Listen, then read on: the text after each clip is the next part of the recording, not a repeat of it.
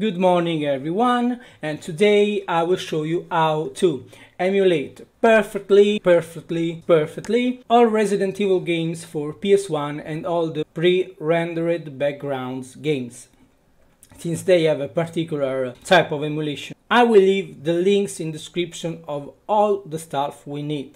Those are just two, plugins.zip and the second one is our emulator. In this case is PSXR not a PSX-E. PSXR uh, it works uh, very fine and is perfect for this kind of games. From the moment that we have this plugin.zip, we just open it. We have this folder plugins. We open the folder of our emulator, if we do it. Don't match to my uh, backgrounds dynamic. And we just take these plugins and uh, paste in here, just to drag and drop.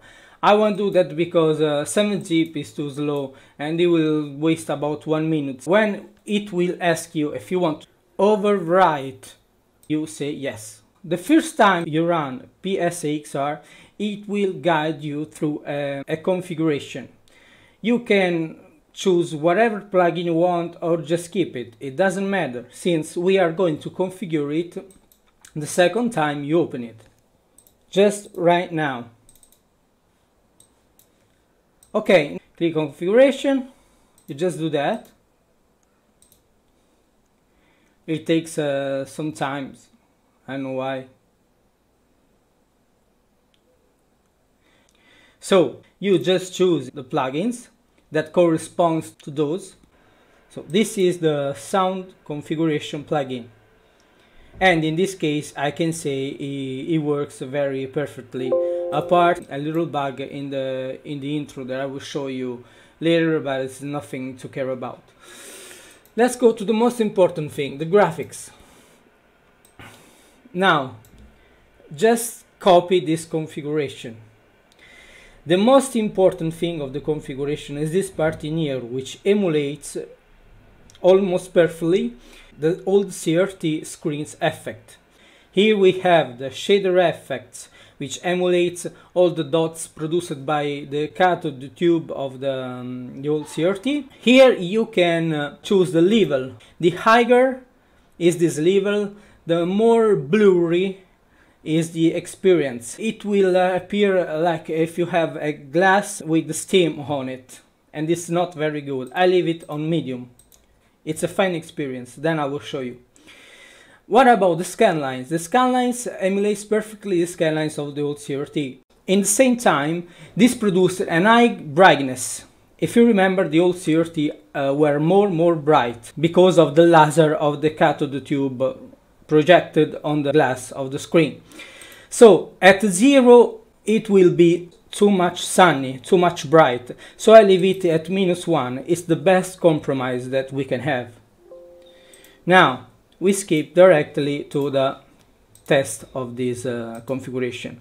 I have done my uh, image of my original copy of the games. I will launch Resident Evil and just in real time we will see our beautiful game as you can see is very very accurate almost accurate the the brightness and the, the shiny this, this was the bug that I was saying before, but this is the only audio glitch that you will uh, you will uh, in see in the game. So no matter. Let's see if I have some uh, some loaded. Uh, yeah, yeah.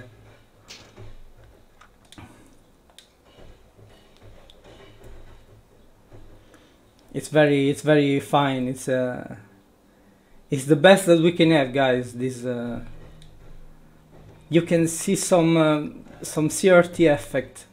It's beautiful on a full HD screen. So this is how will appear the the experience. I will show you just the dining room for the joy of Barry. Barry?